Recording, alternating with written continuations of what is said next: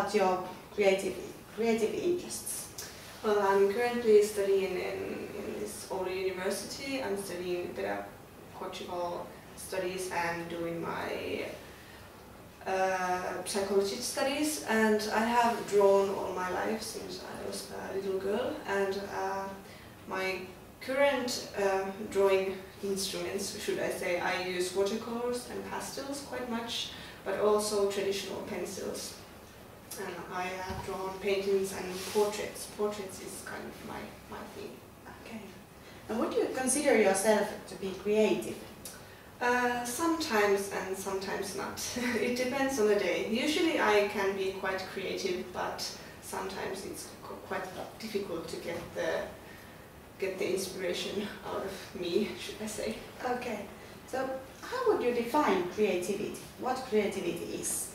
Uh, I think uh, that uh, for me creativity is the process when uh, where I get my ideas transformed into a concrete paper and concrete picture. I think that shows my creativity. Okay. So, how creativity occurs? Uh, I think it shows uh, in the ability that you can make something totally different than uh, any other art artwork.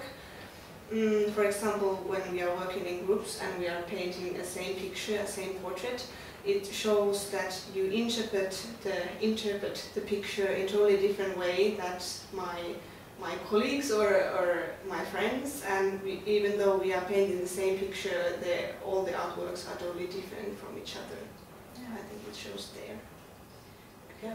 and what do you think that what enhances creativity uh, I think that uh, creativity can be enhanced uh, in art uh, in abstract paintings I think the biggest problem in, in creativity is is that you think about too, too much about what other people will say about your work and, and your working methods.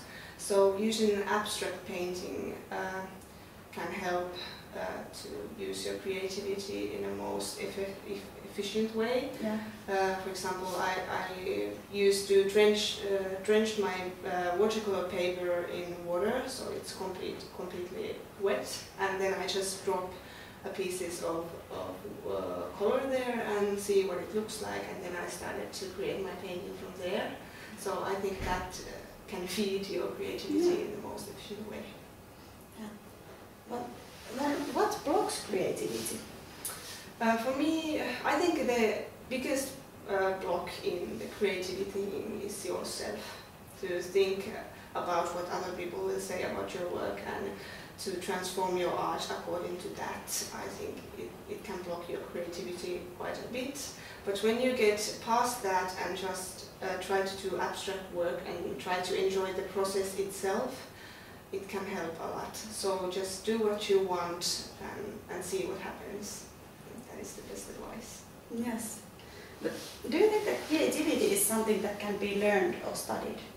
Um, I think uh, it cannot be learned because I think we are all creative in our own way, but we all have a different size locks and different amount of locks that block our creativity and I think that we can learn to get rid of those locks so we can uh, uh, free our creativity in the most efficient way. Yes. Thank you. Thank you. These were all my questions, so thank you for the interview.